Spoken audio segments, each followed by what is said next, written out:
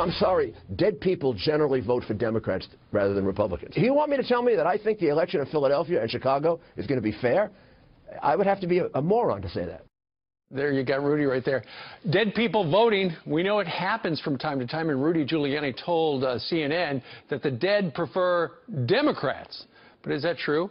Election lawyer and former attorney for the voting rights section of the U.S. Department of Justice, J. Christian Adams, joins us right now. J. Christian, you have handled some dead people voting cases in the past, haven't you? Yeah, I filed six in just the last year against uh, Philadelphia, Broward County, Florida's pending, places where the voter rolls are corrupted.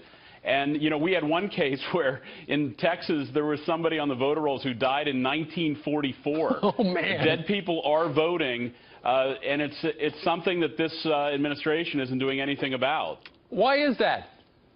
Well, they must like it. They must like who they're voting for. Look, when I was at the Justice Department in the Bush administration, we enforced a law called Motor Voter that right. forced states and local election officials to clean up their voter rolls of dead people.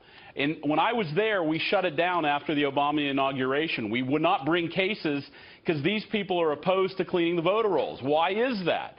Well, now we have 4 million, 4 million, Steve, ineligible and dead voters on American voter rolls, according to the Pew Charitable Trust. Mm -hmm. That's too many, and it's going to affect the election. Two million, two million is a big number. J. Christian, I, you know, everybody's going, mainstream media, it's not rigged. You don't have to worry about dead people voting. Are you saying those people are wrong?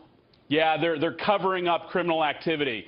Groups like the League of Women Voters and the SEIU are intervening in my lawsuits to try to stop voter roll cleanups because they like it the way it is. They like people. Mm -hmm. uh, there's a case in Oregon, Lafayette Keaton voted for his dead son. Why wasn't he prosecuted by the Justice Department?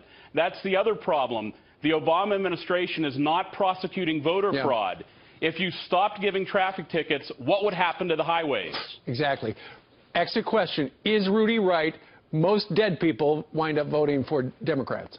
Well, look, all I can say is you have to commit a crime. You'd be a criminal if you voted for the, somebody who's dead, which, by the way, is very easy to do in most places, especially those without voter ID or, or yeah. uh, vote by mail.